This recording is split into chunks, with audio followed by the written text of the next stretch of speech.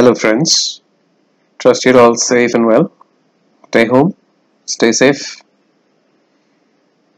While you're at home, you'll also get some time to look at uh, various videos on YouTube, I guess, and hopefully, we are able to give you something worth your time. Let's go ahead and take a look at the Indian otter or the smooth coated otter.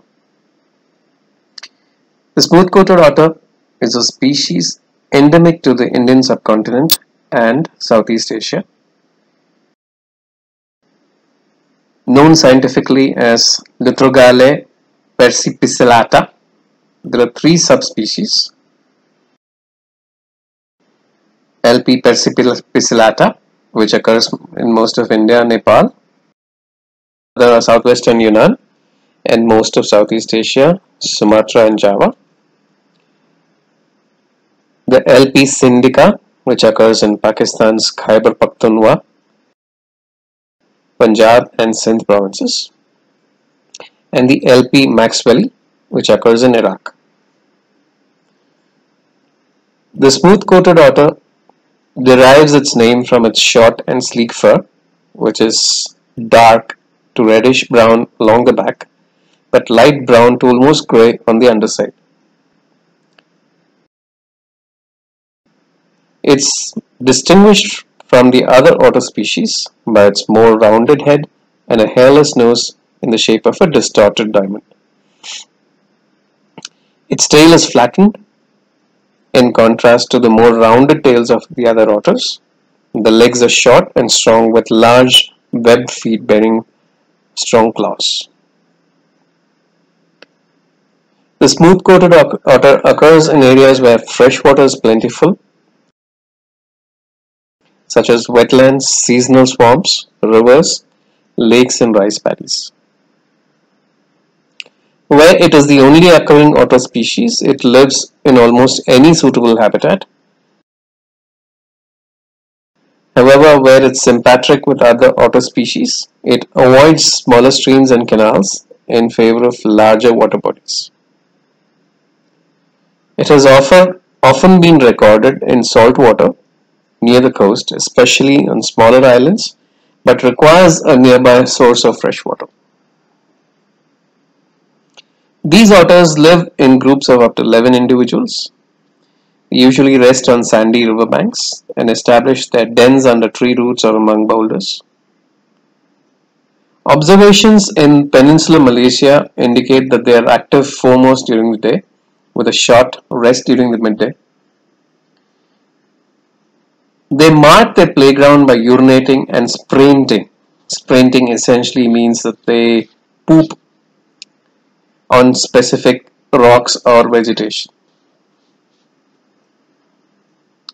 Smooth-coated otters forage on riverbanks among tree trunks, feeding mainly on fish like gourami and catfish. During the rice planting season, however, they also hunt rats in the rice fields snakes, amphibians and insects also constitute a small portion of their diet.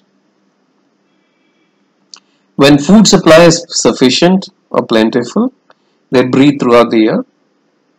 But where they are dependent on the monsoon precipitation, they breed only between October and February. The pups are born after a gestation period of 60 to 63 days with a usual litter size of up to 5 pups.